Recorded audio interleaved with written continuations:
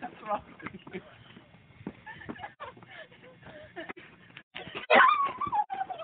You need to calm down. Or this is gonna get really bad really quick.